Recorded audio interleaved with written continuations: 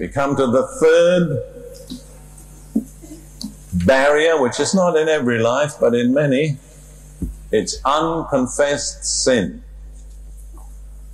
Proverbs chapter 28 and verse 13 lays down a principle.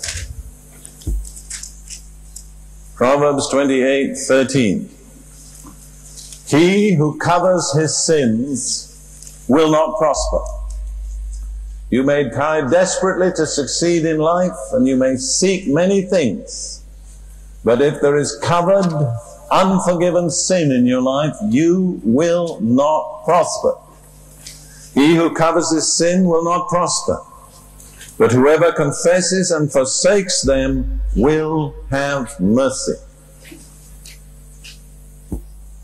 I don't know, but in the lives of many of us, I suspect there are sins that have not been acknowledged. They've not been confessed. They've not been repented of. We've covered them up. We've hidden them away. You know, in dealing with people about the confession of sin, which is so important, I've discovered that a lot of people think this way. Well, if I don't confess my sins to God, He'll never know about them. really, I found lots of people think that way. Let me tell you, God knows already. And God is not asking you to confess in order to find out what you've done. God is asking you to confess because when you do that, He can help you. See, it's for your good. It's not for His information.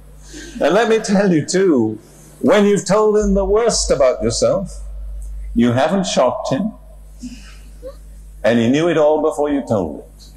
And I tell young people, there are things you might never be able to tell your parents because you'd be too embarrassed and too ashamed.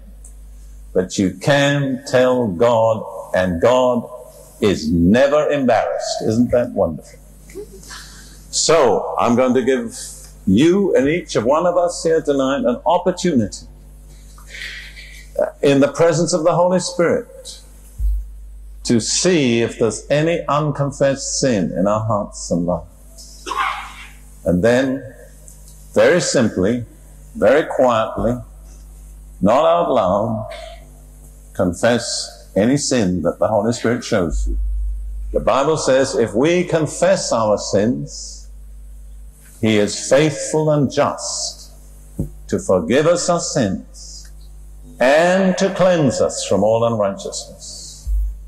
So if you will confess, God has committed himself in his faithfulness and his justice to forgive you and to cleanse you.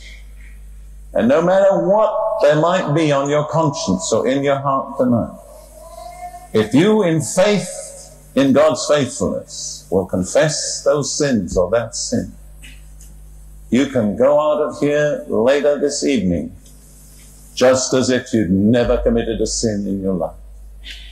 Because when God forgives our sins, He blots them out. He doesn't hold them against us ever again. Now this we're not going to do publicly. We're just going to take just a few moments.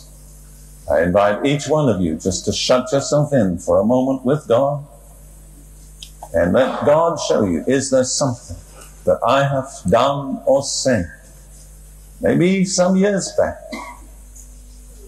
the Holy Spirit brings it to your remembrance. And you respond by saying, God, I acknowledge. I'm sorry.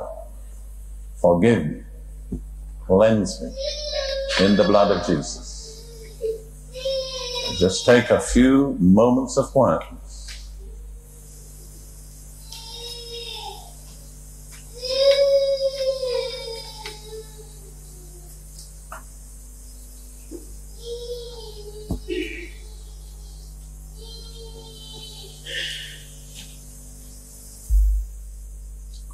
Now, I don't want anybody raising their eyes or their heads.